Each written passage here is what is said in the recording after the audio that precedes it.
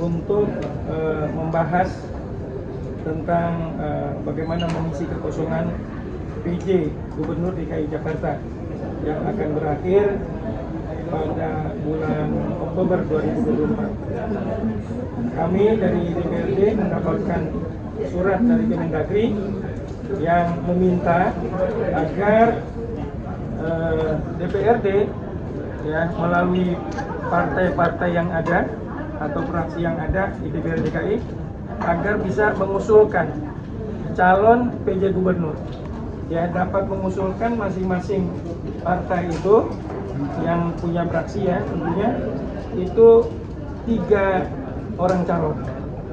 Nah pada hari ini sudah kita uh, tindak lanjuti surat Kemendagri dengan melakukan rapat ya pimpin sementara dengan putusan-putusan partai dan sudah kita sampaikan surat itu. Dan masing-masing partai politik yang ada perwakilannya sudah menyampaikan pandangan-pandangannya. Ya bagaimana uh, agar mereka itu bisa menindaklanjuti ya, surat dari Kemendagri dan dari hasil pembicaraan bahwa mereka siap untuk menyampaikan usulan-usulan PJ Gubernurnya dan tadi sudah terjadi pandangan-pandangan mengenai masalah waktu.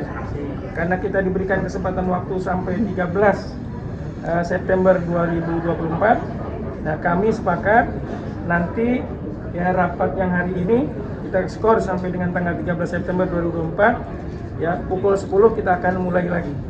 Ya kami minta kepada mereka usulan nama-nama itu. Ya yang memenuhi syarat usulan-usulan nama tiga calon penjabat gubernur dan nanti baru kita akan bahas kita akan ranking dari usulan-usulan dari masing-masing partai politik yang ada